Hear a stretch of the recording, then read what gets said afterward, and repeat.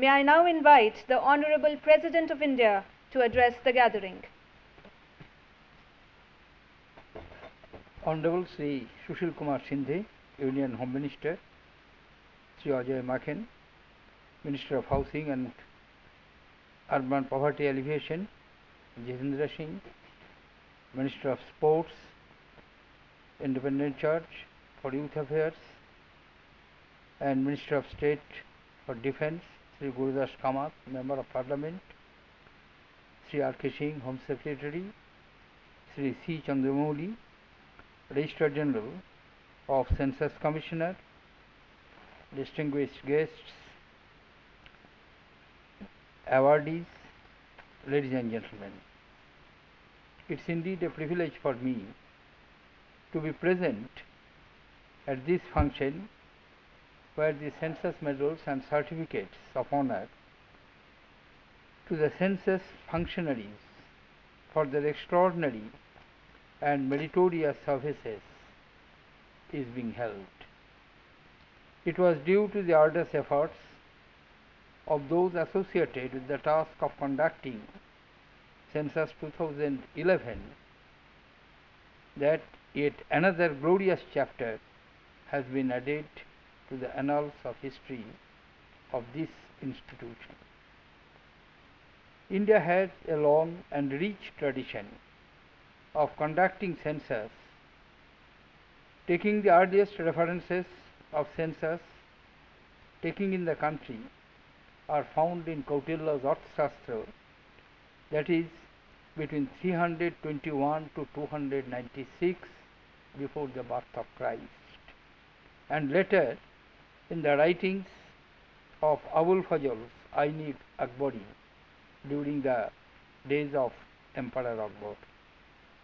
However, the first systematic and modern population census in its present scientific form was conducted non synchronously between 1865 and 1872 in the country.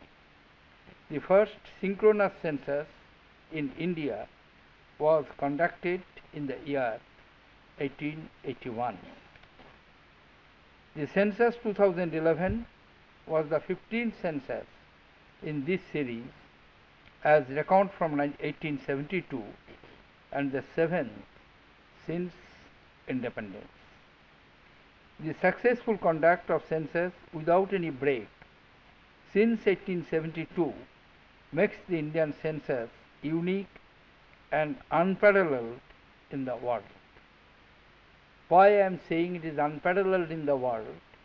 Because during the every census in 10 years, population figure increases, varieties of the data are to be collected, are multiplied, and it becomes extremely difficult for those who are managing census, particularly the census commissioner and registrar general of India, I take this opportunity of congratulating the wonderful performance which Dr. Chandramouli and his organization under the supervision of Union Home Secretary and Union Home Minister they have done. They have done wonderful job. Census taking in India is a very challenging task in view of the multi-ethnic, multilingual, multicultural society. The complexity of the exercise can be visualized from the fact that census schedules were canvassed in 16 languages and training given in 18 languages. About 4.5 million instruction manuals and 340 million census schedules were printed 2.7 million enumerators and supervisors were engaged in the task of census taking across 35 states 6 and union territories 640 districts 5924 sub-districts 7936 towns and 6.41 lakh villages. The unique feature of census 2011 is that schedules for preparation of the national population registers were also canvassed along with the house listing schedule.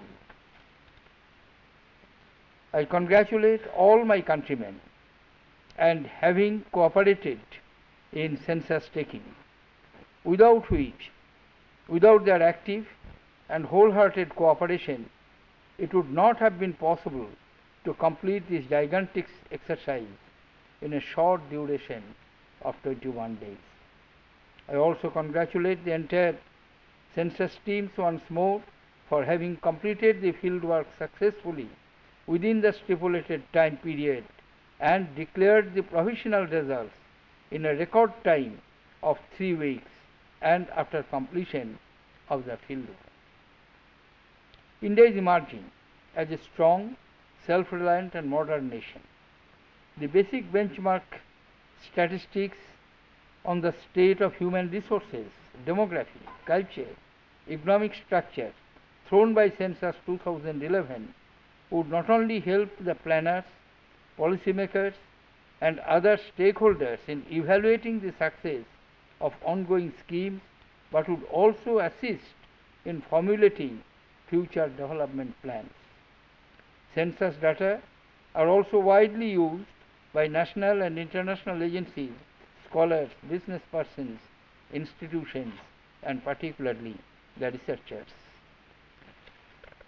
Informed decision making has to be based on empirical data and census is the only source of authentic data that provides information on various individuals, characteristics right up to village level of the rural areas and ward level for urban areas.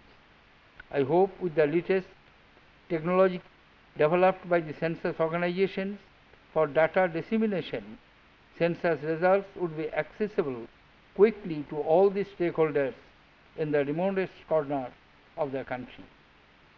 I am given to understand that it is tradition to recognize the outstanding work done by the census functionaries after every decennial census. Census functionaries toil in the most difficult terrain and adverse conditions to make this mammoth exercise a grand success. It gives me great pleasure to award the census medals and certificates of honor to census functionaries in recognition of their outstanding zeal, high quality of work, devotion to duty. I congratulate once again all the census medal winners and wish them well for their future endeavors. Thank you, ladies and gentlemen. Jai Hind.